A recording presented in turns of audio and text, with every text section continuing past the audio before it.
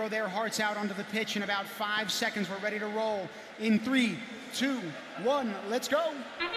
So as I was saying earlier on, I apologize. They've started a program at their school encouraging students to bring personal water bottles, to purchase eco-friendly and biodegradable products for lunches, and to remove styrofoam entirely from deliveries. They've provided market bags for families to shop with and have reduced single-use plastic grocery bags. So they're doing all of those simple decision-making things that Alvaro was referring to earlier in that home nation of Belize. Great job by them.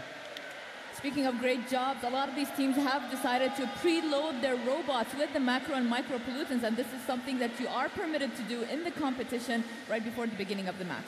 Looks like the Blue Alliance over on the backside of the field was trying to hit some of those macro pollutants into the hub, being able to give them access to the human players to maybe load them later in the match. Red Alliance looks like they had that same idea, trying to fill that. Looks like one of the Blue Alliance robots is flipped over at the moment. Speaking of that red and blue alliance, we've got Team Kazakhstan, the United Kingdom, and Finland squaring off against Sweden, Belize, and the Republic of Congo. I just love watching on the center field. I mean, it looks like it looks like it's elevated. It looks like you know it's the main focus of everything, which it 100% is. This robotics tournament is just amazing. They've put robotics on a pedestal. You know, it, there you have it. Yeah. We're starting to load up with the Queen robot right there. We just dumped that last micropollutant. Oh my goodness, look at that. It's almost like a supermarket sweep in that corner. Look at all those pollutants being loaded with one hand nonetheless. That's got some skill right there. That's hand-eye coordination. Yeah, it did take a minute 30 for them to get there, but I mean, look at all these pollutants going in, and they're gonna line themselves up with one swift movement. I'm sure they're gonna be able to score all of these. I was gonna say, that robot, that robot's moving just as fast. Yeah. And that is the Team UK robot. Oh, wow. Oh, my.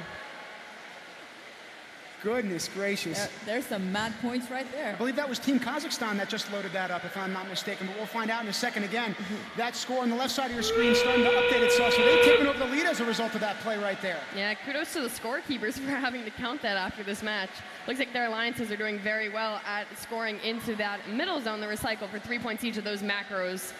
I was going to say, you think we're doing some quick mental math up here. I can only imagine what it's like down there, especially on that field that everyone's so focused on. Meanwhile, the snowman from Finland, right now, trying to melt almost into that central barge as they're trying to lift their way up, trying to get as close as possible.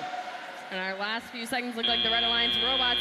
We'll see if they're counted in the air, but I think all three of them are up there. We'll see what the referees have to say as we come back with the score in a couple moments. Now, Sarah, so long as they are moving, as long as they're in the air, those points still count, if I'm not mistaken, correct? Yeah, so sometimes when they're programmed, you could program it in one swift movement. You press a button, and the robot will lift itself into the air, but that doesn't mean that the motors shut off. That doesn't mean that the servos that they're using shut off.